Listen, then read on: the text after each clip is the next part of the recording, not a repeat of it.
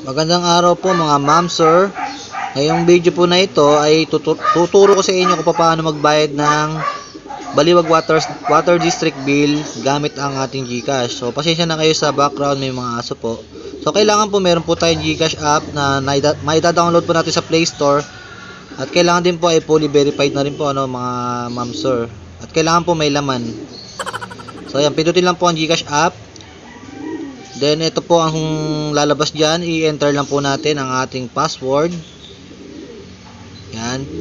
Then, after nyan, ma-enter. Ito po ang lalabas dyan.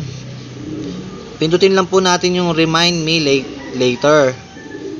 Then, tas yan na po lilitaw dyan. Pindutin lang po natin yung pay bills. Ayan. Sa ilalim ng baboy. Then, water utilities.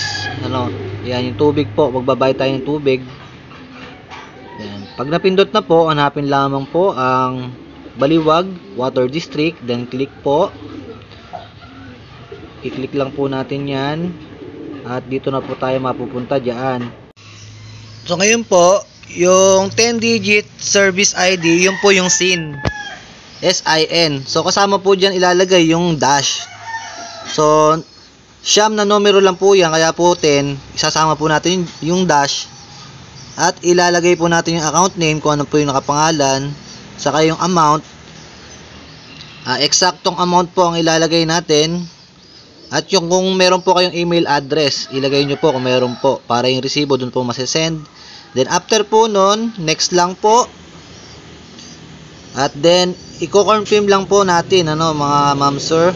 After po nun ito na po yan ayan nakapagbayad na po tayo payment receive Pwede nyo pong i-download yung resibo sa tapat po ng payment receipt. Pindutin lang po yung arrow na pababa.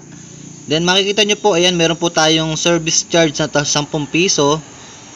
Ayan, yun po. Kung ayaw nyo pong pumila, pwede naman pong ganito ang gawin. Ayan, mga ma'am sir, ganyan lang po. Maraming salamat po sa panonood. Paki-like po and share. Salamat.